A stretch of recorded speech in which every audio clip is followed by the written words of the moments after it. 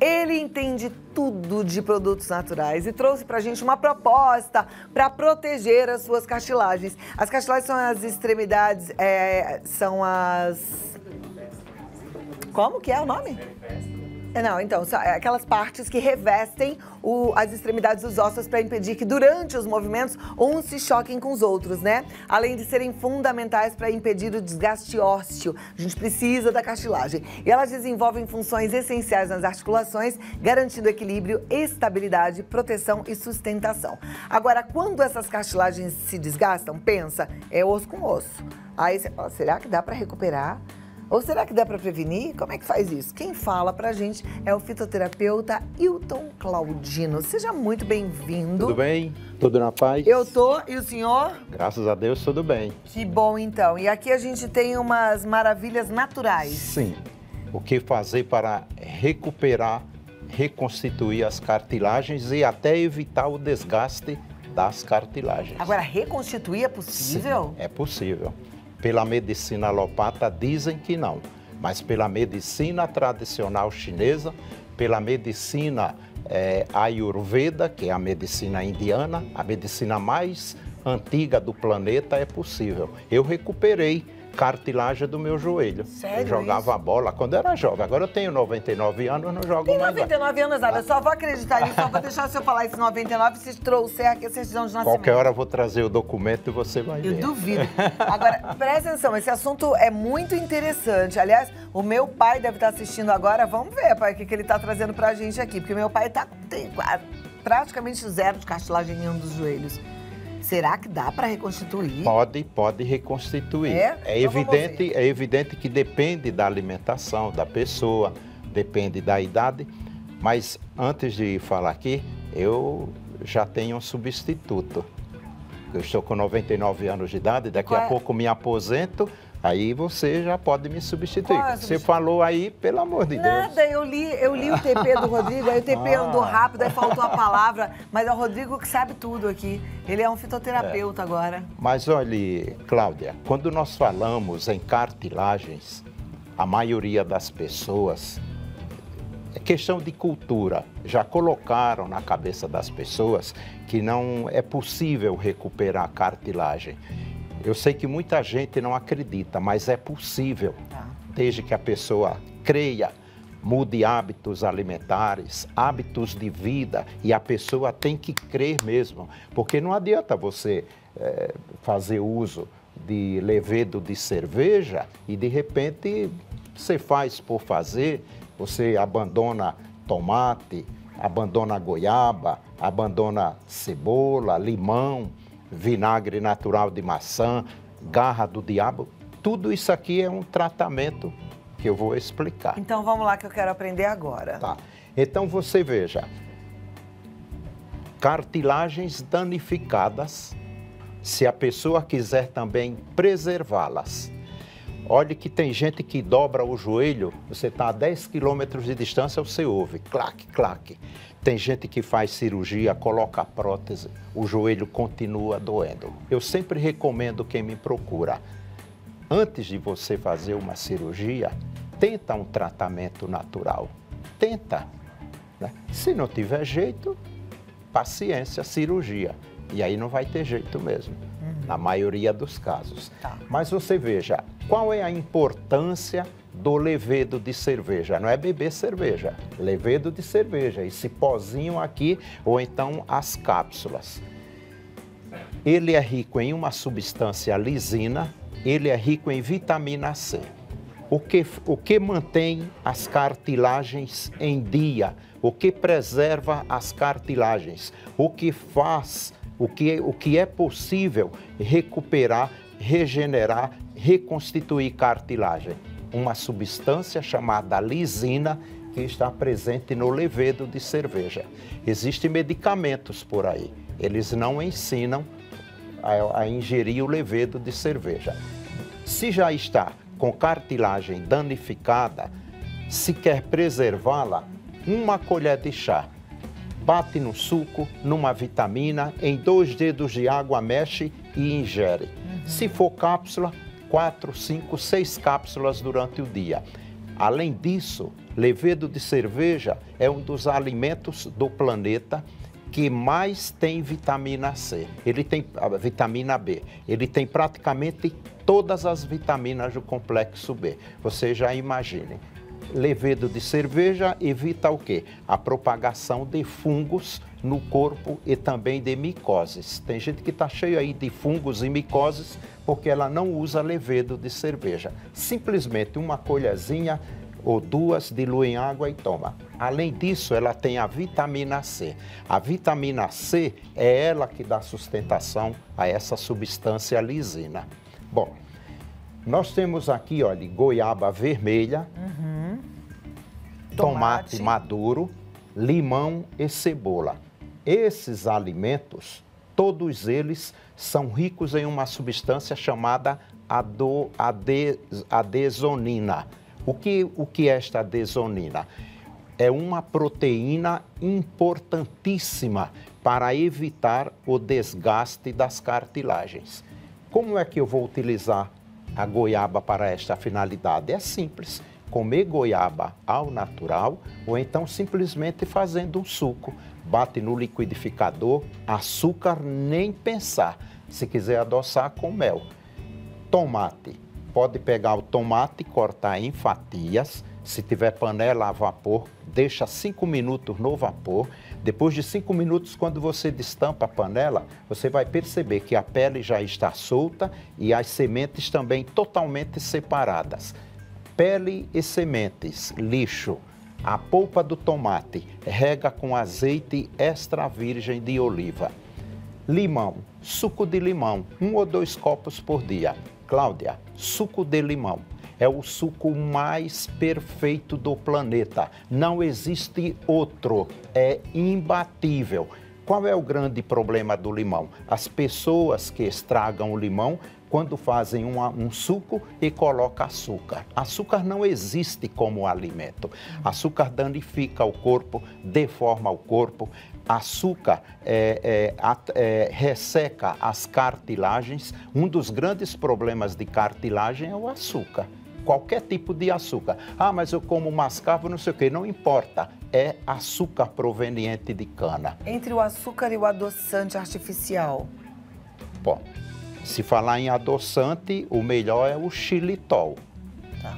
Ou então, se a pessoa pode comer mel, se não é diabético, utilize mel. Adoçante à base de estévia. A estévia é completo. Quando eu, você, qualquer pessoa utiliza a estévia, ela já previne infecção urinária, evita ressecamento vaginal. Que outro adoçante faz isso? Nenhum. Nenhum. Nenhum. O problema é, dado... é que a stevia ela não tem gosto bom, né? Ou a gente se acostuma? Mas, é, Cláudia, se acostuma. Você vai usando stevia, daqui a pouco você acostuma. É, é igual beber suco de limão sem açúcar. Né? Eu hoje eu bebo com a maior Sim, naturalidade. água com limão que eu tomo de manhã, em jejum. Sim. Sim, um copo e ponto. Sim. Ótimo para o coração, é, é, evita infecções, inflamações, tudo isso daí é o limão. Então tá, certo? água com limão, ponto. E a cebola? A cebola também tem essa substância adesonina. O que é que ela, o que ela faz, essa substância? O mesmo benefício causado pelo, pela goiaba, pelo tomate e também pelo limão. Vai evitar a degeneração. Tá entendendo? E qual é a melhor forma de consumir a cebola?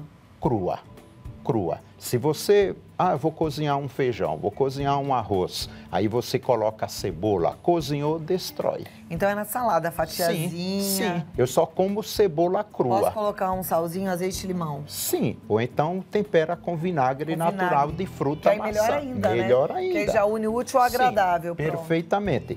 E olhe que a cebola ela tem uma substância chamada sulfeto alílico. Essa substância previne, Cláudia, existe comprovação científica, cinco tipos de cânceres. Simplesmente com essa substância chamada sulfeto alílico que está na cebola. Este livro aqui ó, tem uma matéria completa sobre a cebola, fala também sobre o tomate, o licopeno, tudo isso daí. Agora, pena que a maioria das pessoas não sabem comer cebola. Tem gente que pega a cebola, come com tomate de vez. O tomate nestas condições não pode comer, porque ele vai desenvolver problemas cardiológicos. Ah, é? Tá? Tomate você tem que comer maduro e sem a pele e sem a semente. Se você comer a pele de semente, a pele fica perambulando três dias no seu organismo. Tá o baço joga para os rins, os rins joga para o fígado, o fígado joga para o pâncreas. Ninguém quer. Daqui três dias, quando senta no trono, a pele sai intacta. Olha, e a gente tem esse hábito. O brasileiro faz a saladinha de alface e tomate. Pega o tomate de vez, que é. é esse aqui tá de vez. Sim, é. E corta fatiadinho. O, o certo é comer com ele bem maduro. Que a gente Inclusive, praticamente não usa. Quando está maduro, a gente sim. só usa para fazer molho. Inclusive, essa substância, a desonina, que é ótimo para a cartilagem, que protege e promove, né? promove o ressurgimento da cartilagem, o tomate tem que ser comido maduro maduro. É igual o licopeno para próstata e câncer de mama. Não adianta eu comer tomate de vez ou tomate verde. Ele tem que ser maduro. E tem outra, o licopeno, ele só vem mesmo à tona do tomate quando ele é aquecido. Ele é aquecido. Então a melhor forma de comer o tomate é aquecer. Deixa eu te perguntar uma coisa. Ótimo se a gente conseguir fazer dessa forma, alimentação dessa forma natural. Mas por exemplo, é, qual que era o... O levedo de cerveja. Do levedo de cerveja tinha a lisina, né? Sim, a lisina. A lisina, aqui o importante a desonina, a desonina. Isso, Eu poderia manipular aquelas fórmulas que tem é, um pouco de lisina, desonina, ou não? Pode. Ou o efeito é outro? Não, pode. Só que aí o, o resultado terapêutico é diferente. É diferente. O resultado... Porque é mais ou menos isso que a medicina ortomolecular propõe, né? Sim, sim. Mas o, o, resultado terapêutico é diferente. Até porque você veja, quando você utiliza esses produtos, eles são ricos em vitaminas e sais minerais, tudo proveniente da terra. Uhum. É totalmente diferente de algo que seja sintético. Então a gente tem que também fazer uso disso tudo orgânico. Sim. De Porque, preferência. Exemplo, é, às vezes vai comer Sim, um tomate maduro, achando que está ali cheio de, de, de zonina, mas ele está cheio de agrotóxico, Sim. né? Agora, uma coisa, é, pode pode fazer o tratamento convencional e colocar junto com esse paralelo? Pode.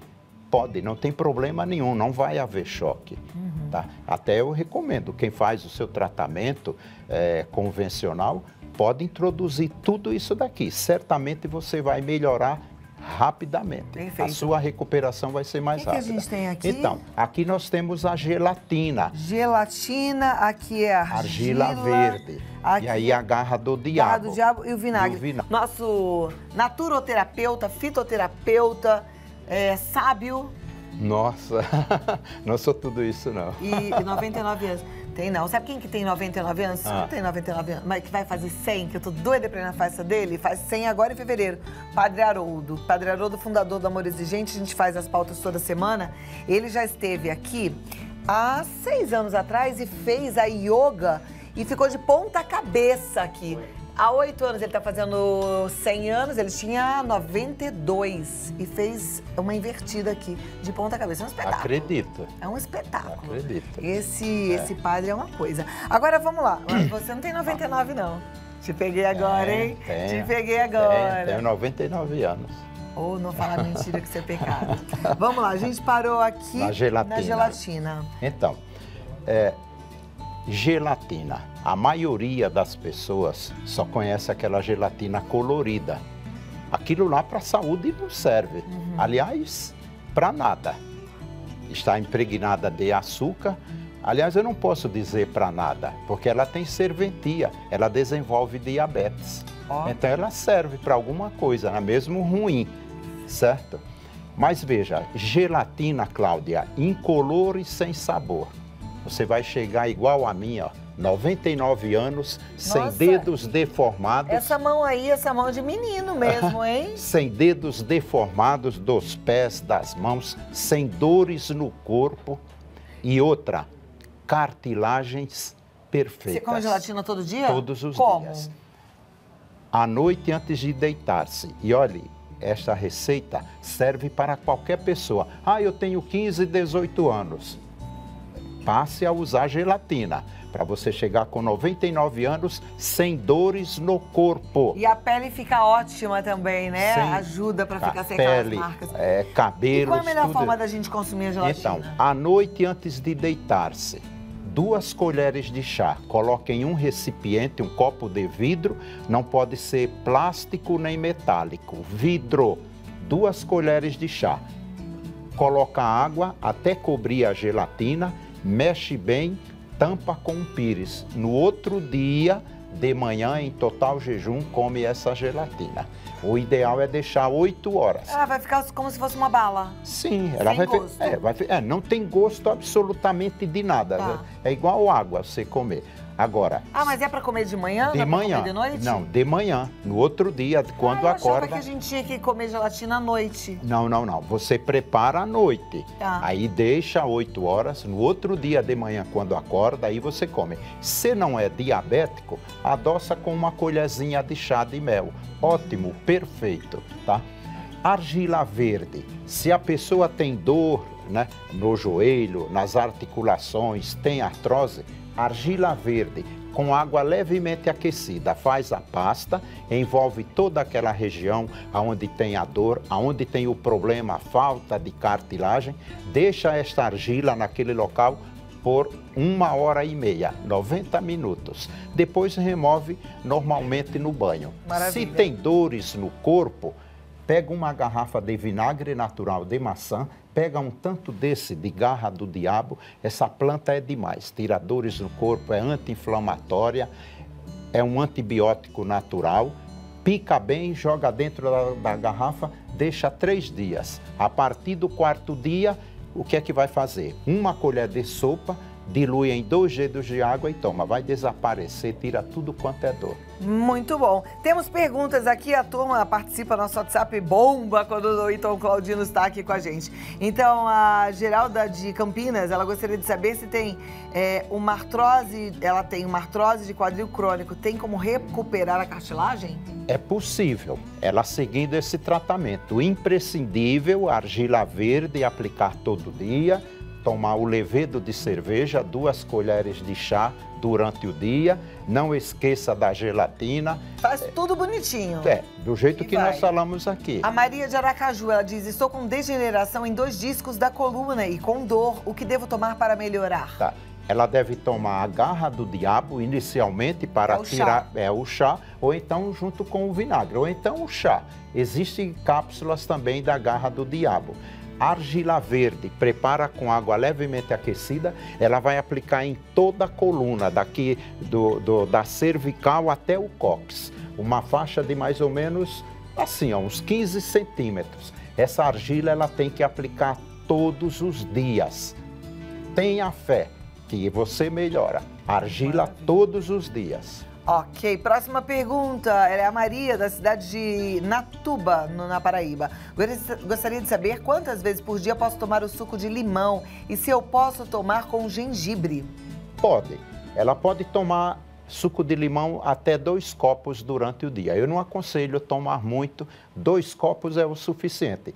Pode tomar com gengibre. Tem pessoas que faz água aromatizada, né? Pega um ou dois litros de água, corta o limão em fatias, coloca lá dentro um pouquinho de gengibre. Depois de uns 30, 40 minutos, a pessoa durante o dia vai bebendo essa água. É muito boa também. Todos os nutrientes, as substâncias que previnem e curam determinadas enfermidades, ficam impregnados nessa água. E a pessoa vai lentamente. Porque tem gente que não gosta mesmo. Ah, eu não gosto de limão. Mas essa é uma forma mais simples e eficaz. Maravilha. A Josiane, da cidade de Montes Claros, em Minas Gerais, ela diz: não perca o seu programa. Obrigada, Josiane.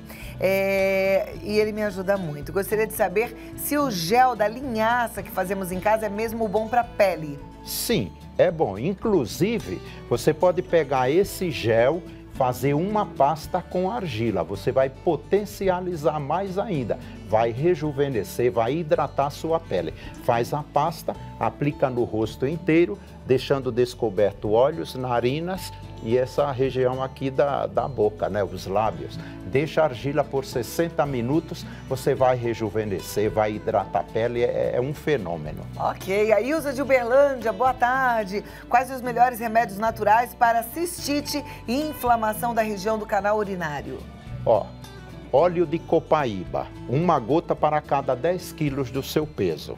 Pega a melancia, aquela parte branca, tem a polpa vermelha, tem a casca, né? E tem aquela parte branca.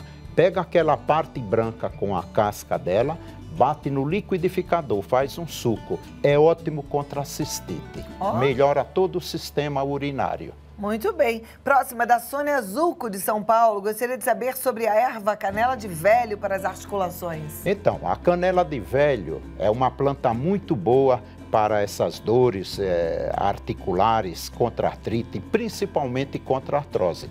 Tem gente que tem artrose, ela aplica argila verde com o chá da canela de velho sobre o local da artrose, toma duas ou três xícaras de chá de canela de velho eu vou dizer para você, você não vai acreditar, acaba com artrose. É mesmo? Acaba com artrose. E, e, faz uso da gelatina para reforçar a cartilagem, os tendões, todos os músculos em, ao Olha, redor. Tá na natureza, presente de Deus pra gente. É um absurdo a gente olhar e falar, ah, tá, mas eu quero mesmo é alguma coisa química, pronto. Vamos fazer, não estou falando para você abandonar seu médico, ao contrário, faça o tratamento do médico, mas use a sabedoria de quem estuda a natureza para nos ajudar a fazer a prevenção e o tratamento de diversas doenças. E olha, o doutor Hilton Claudino, ele está te esperando no www.hiltonfito.com.br hiltonfito.com.br Se você quiser entrar em contato, hiltonfito.yahoo.com.br, é e-mail. No telefone, você pode até mandar um WhatsApp no 12 9 81 17 3044. 12 9 81 17 30 44. Isso aí. Falado? O nosso livro, né? Quem quiser adquirir, editado pela Paulinas, eu não me lembro do 0800. Ah, mas aí você falei. entra em contato com ele que ele já te dá Isso. todo o caminho para você comprar o livro no 12 981 17 30 44. E só para seus telespectadores, se tiver algum problema, entre em contato comigo, eu não me nego em atender ninguém. Eu atendo todas as pessoas. Muito obrigada. Um abraço, viu? Cláudia. Até a próxima. Muito carinho. Até tá. a próxima. Com 100 anos já? Quando é que é o aniversário? Não, esse ano eu completo 99. Ah, esse ano.